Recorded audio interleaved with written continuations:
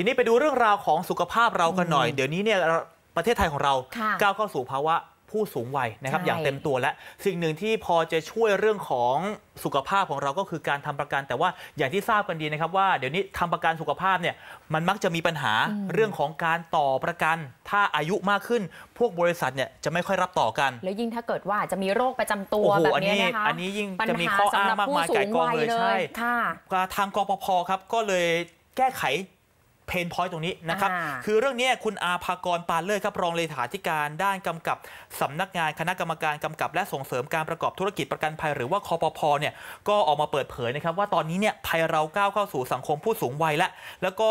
นอกจากเรื่องของสวัสดิการจากภาครัฐ ในการที่จะดูแลสุขภาพแล้วนะครับ ก็คือเรื่องของการซื้อประกันนั่นเองนะครับทางกปพเนี่ยก็เลยมีการปรับปรุงมาตรฐานการประกันสุขภาพนะครับแก้ไขปัญหาเดิมของการทำประกันสุขภาพที่หลาย ๆ บริษัทมักจะไม่ค่อยต่ออายุประกันสุขภาพเมื่อ ผู้ซื้อประกันเนี่ยอายุมากขึ้น หรือเริ่มมีปัญหาสุขภาพมากขึ้น ซึ่งในกรมประกันสุขภาพฉบับใหม่นะครับกำหนดให้บริษัทประกันเนี่ยต้องต่ออายุการประกันสุขภาพให้เท่ากับจำนวนเวลาของการทำประกันชีวิต จึงจะช่วยแก้ไขปัญหาตรงนี้เนี่ยได้กันไปได้มากเลยนะครับ ซึ่งนอกจากนี้ยังได้มีการเพิ่มคำนิยามนะครับในการรักษาโรคเพิ่มเติม ให้เท่าทันกับเทคโนโลยีสมัยใหม่มากขึ้น เช่นในเรื่องของค่ารักษาพยาบาลโดยการผ่าตัดเปลี่ยนอวัยวะ ตับตับอ่อน ไต หัวใจ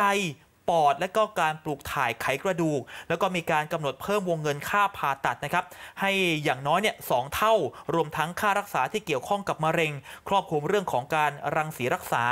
รังสีร่วมรักษา เวชศาสตร์นิวเคลียร์รักษา การฝังแร่รักษามะเร็ง แล้วก็การรักษาแบบออกฤทธิ์จำเพาะเจาะจงต่อเซลล์มะเร็งทำให้การรักษาพยาบาลเนี่ยครอบคลุมเทคโนโลยีสมัยใหม่มากยิ่งขึ้นนะครับ ปัญหาเดิมของประกันสุขภาพก็คือว่า เมื่อทำประกันสุขภาพไปหลาย ๆ ปี ตอนยังไม่เกิดเหตุ ตอนยังไม่เกิดตอนยังสุขภาพดีอยู่เนี่ยนะครับ แล้วก็แล้วก็บริษัทประกันภัยก็รับปกติ พอเราเริ่มสุขภาพไม่ค่อยดี มีค่าใช้จ่ายคงที่มีค่าใช้จ่ายประจำแล้วบริษัทประกันภัยก็เริ่มจะเริ่มจะพิจารณารับประกันภัยละเอียดมากขึ้น นะครับ ไม่อยากจะต่อประกันภัยอะไรอย่างไรบ้างนะครับ เราก็แก้ปัญหาโดยการออกประกันสุขภาพแบบใหม่ เป็นแบบการันตีการต่ออายุนะครับถ้าทำประกันภัยถ้าทำประกันชีวิตไว้ สัญญาหลักคุ้มครองไปขนาดไหน สัญญาประกันสุขภาพที่เป็นไรเดอร์ของเขาเนี่ยมันก็ต้องก็ต้องเสนอขายไปควบคู่กันไป จนครบสัญญา นะครับเราเรียกว่ากรมธรรม์อันนี้เป็นเป็นกรมธรรม์การันตีการต่ออายุ ซึ่งก็แก้ปัญหาในจุดนี้ไปได้นะครับ ภาพรวมนะของการทำประกันสุขภาพณเวลานี้นะครับตั้งแต่ปี 60 เนี่ยปัจจุบันนะครับจนถึงปัจจุบันอัตราเติบโตเนี่ยสูงถึงกว่าปีละ